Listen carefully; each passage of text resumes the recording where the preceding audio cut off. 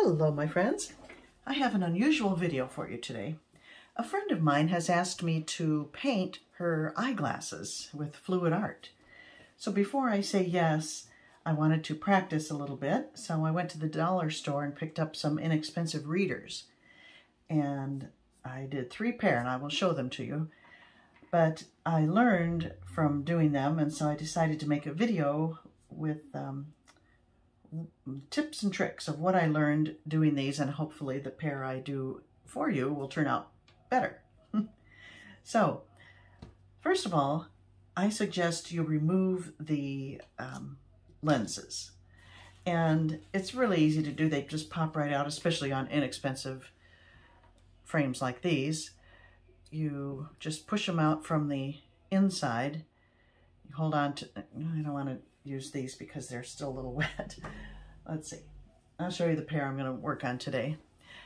Uh, you push them from the inside out. You just cradle the frame part in one hand and push with good pressure with your thumb. And I found pushing from the, the corner seemed to be the sweet spot for these. It wasn't easy. On better made glasses, it was a little hard. If you're um, uncomfortable trying that, you could always bring them to your eye doctor or Walmart or somewhere and ask them to remove the lenses for you temporarily. And um, that would be an easy way to go. The other thing you could do would be to tape over the uh, lens with blue tape and then trim around the, you know, the um, opening with an X-Acto knife, but you risk scratching your lenses and um, when you remove the blue tape, you might lift some of the paint. So I think it's easiest if you remove the lens. So that's step number one. Let me show you today's results and then I'll show you what I did to prepare those. So the first one I did was a dip. I used paints uh, with Floetrol, Liquitex, and paint. I think that was it, no water. I, they were leftovers. And I just dipped them in. And here's the result. I think they're kind of fun. But you can see, I mean, they're not dry yet. I just lift, I just touched that one and took some of the paint right off. But um, these were black and they had tortoiseshell arms. I thought those I would leave alone, but it's starting to pull away from the black on, on the edges. So they're not perfect, but they're pretty. I'm, I'm not unhappy with the colors and the way it turned out completely. Then I tried another one, and this time I used some of the same oranges and then some Artist Loft ready to pour paints because they dry with um, uh, luster, and then I figured it wouldn't have to varnish. And this is a new color, metallic cobalt blue in the ready to pour paints. It's beautiful. And this is what I came up with.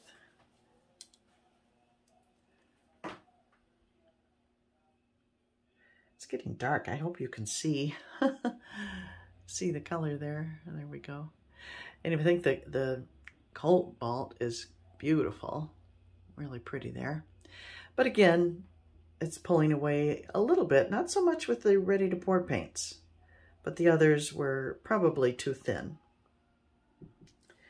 So then I decided, I had one more pair, and I decided to dip them in white to begin with, and then drizzle the colors on top.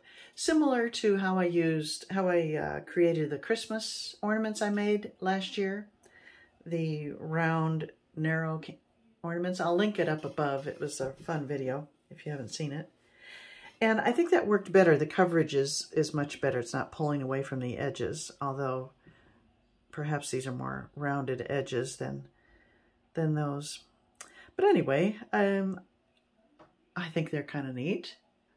And these were done all with Artist Loft Ready to Pour paints. Silver, this cobalt, bright blue, and white. And I didn't worry about the arms, but they did happen to um, drip down the arms and and looks kind of neat. Uh, Don't mind that. These were sunglasses. Anyway, so I decided I was going to try them on a pair of my good glasses. Um, these are from a couple of prescriptions ago, so I didn't mind playing with them. I wouldn't do this on anything, anything expensive or your best glasses. But um, I think as artists, it's kind of fun for us to wear glasses that we have painted. So I put a couple coats of gesso, probably three coats of gesso on here, thinking that might help the paint adhere better than just to the slick plastic. These were all tortoise shell. And in fact, in the corners, they had little rhinestones. Um, and I used some texture paste to fill in, you know, they were convex, to fill in there. So it's now fairly flat.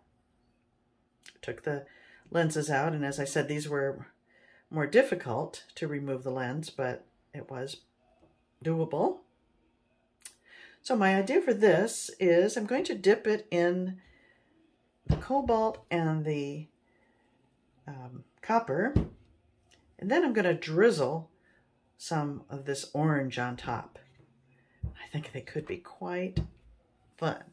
Now, one important thing, you need something to rest them on while they're drying and has to be tall enough. Um, I have the couple of these, you know, fast food cups that are giant and they're tall enough so it can lay flat. The uh, 18 ounce cups, they're not quite tall enough and then it, you know, your the arms of the glasses are going to be touching the the table and it won't be flat. So get something that lifts that's longer than the arms of the glasses. Okay, so first I'm going to go ahead and dip these. I'm working on freezer paper here. And then I'll put it on the cup and drizzle. So, here we go. I'm just going to make a little mark so I know how big to make my puddle.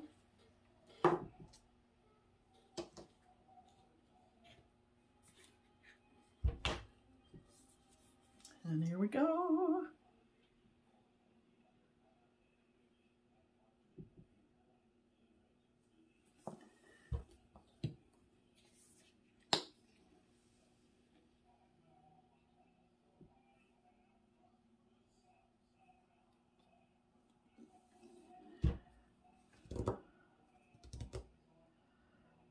Okay. I wonder if I want to add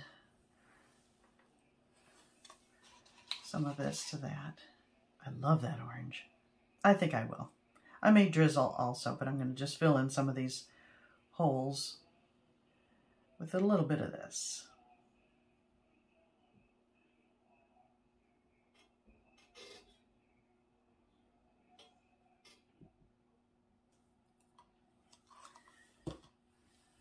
Okay. And maybe I'll even take a skewer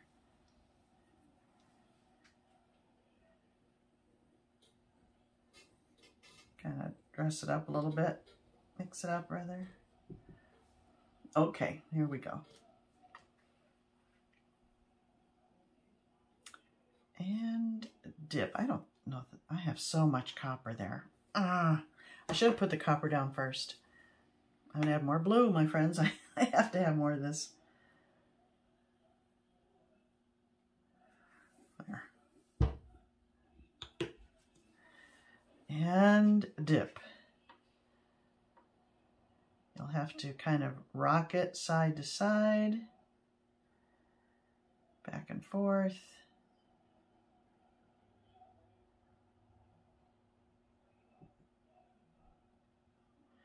Not going to worry about the nose part if it when it drips. Um, I think it could easily be uh, scraped off the paint you don't want. Okay, are you ready? Oh, I love them. Look at that. I hope you can see well enough. Let's see. Can I bring this little light overlook. Look at the colors. Oh, I like them.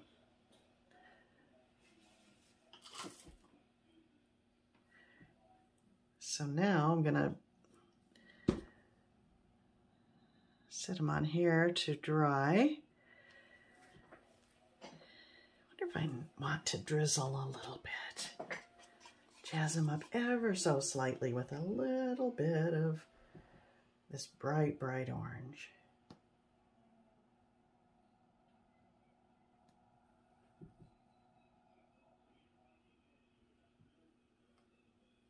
I guess I do.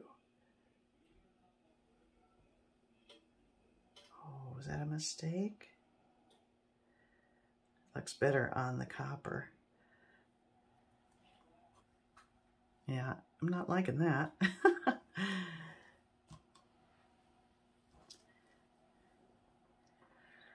well, I'll just try to fix that. I'll go into my blue with a palette knife and just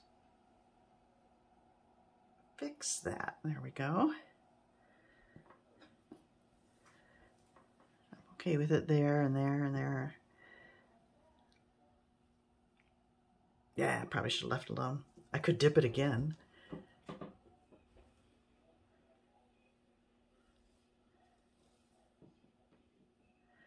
Should I dip it again? I mean, I'm pretty happy with it. I should leave well enough alone. I am. I'm gonna dip it again.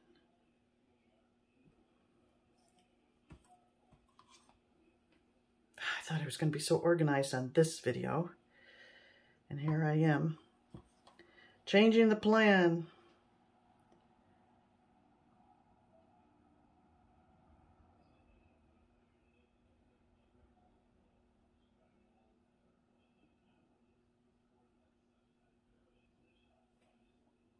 Oh, good. I still like it. okay, I'm not going to mess with that. Let me bring you in closer.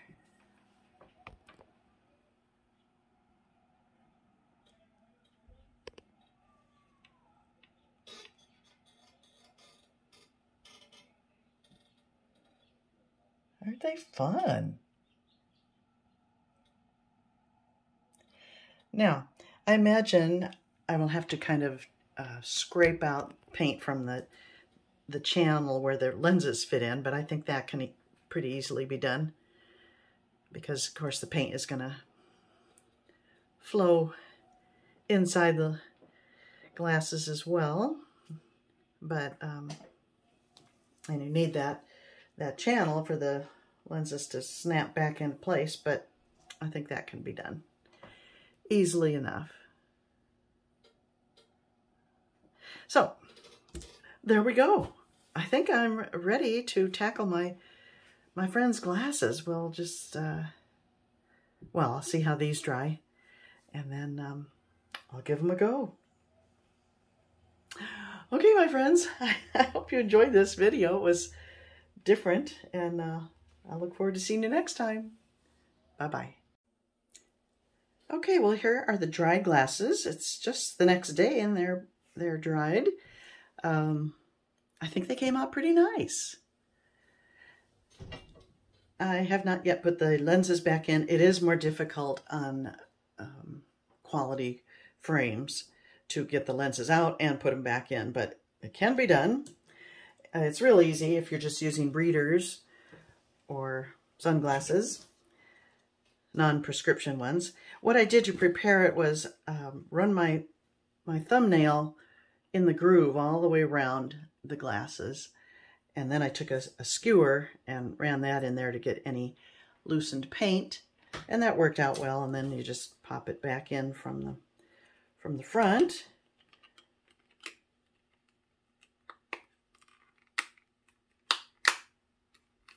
And that's it. Pretty easy. So, I hope you enjoyed this video. It was, it was fun to do. And I think I have learned a lot and I'm ready to tackle my friend's classes if she's willing. so I hope you enjoyed this. Stick around. You can see a few pictures of me wearing these. And I'll see you next time.